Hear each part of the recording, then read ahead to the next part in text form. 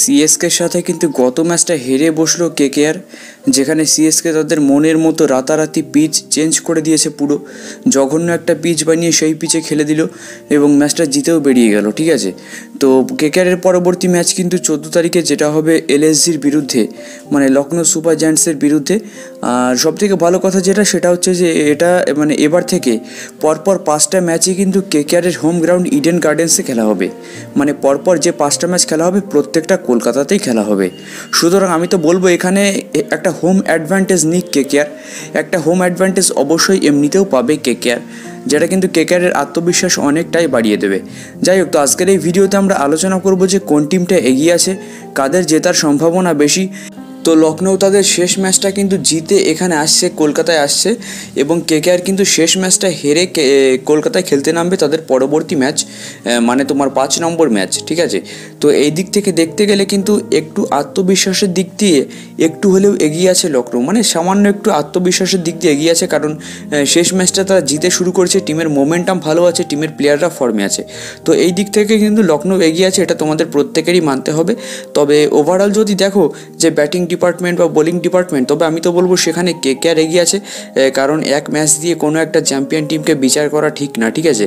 এক ম্যাচে batting flop গেছে মানে এই না যে তোমার প্রত্যেক ম্যাচেই ব্যাটিং ফ্লপ যাবে, আর কে কে আরের ব্যাটিং লাইন কতটা শক্তিশালী তোমরা প্রত্যেকটা ম্যাচেই সেটা দেখতে পেয়েছ, দুশো প্লাস স্কোর কিন্তু হচ্ছে প্রত্যেকটা ম্যাচেই, ঠিক আছে? তো সেখানে কিন্তু অবশ্যই কে কে এগিয়ে আছে তাছাড়া রাসেল তো প্রত্যেক দিন খেলবে না, আর আগের দিন যে জঘন্য পিচে খেলা হয়েছিল, সেই পিচে রাসেল কেন? প্রথমে যে টিমই ব্যাটিং ধরবে সেই টিমেরই কিন্তু কপালে কষ্ট ছিল আগের দিন চেন্নাইয়ের মাঠে। সুতরাং আগের দিন পিচটা মোটেও ভালো ছিল না। আর কেকেআরের মানে ইডেন গার্ডেন্সে কিন্তু টোটালটাই ব্যাটিং উইকেট করা হবে যেটুকু শুনতে পাচ্ছি যে প্রচুর হাই স্কোরিং গেম হতে পারে। হতে পারে বলছি কারণ প্রথম ম্যাচে আমরা দেখেছি যে হায়দ্রাবাদের সঙ্গে একটা ভালো ম্যাচ হয়েছিল।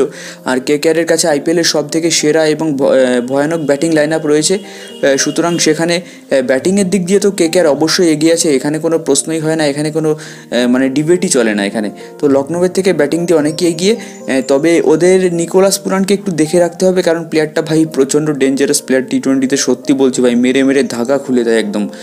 সুতরাং তোমার হচ্ছে নিকোলাস পুরানকে একটু দেখে রাখতে হবে, আর মিচেল স্টারকে একটু ফর্মে আসতে হবে।